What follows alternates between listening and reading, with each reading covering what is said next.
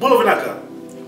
For this month of March, we here at the Fiji Times will be bringing to you environmental stories, issues and initiatives from all around our country.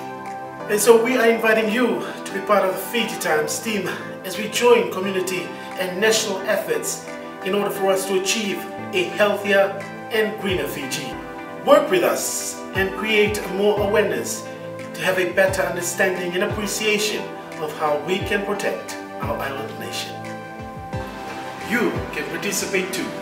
Send us related pictures and videos via Facebook Fiji Times online page, Twitter, Instagram or email us at timesnews at fijitimes.com.fj. Be the change.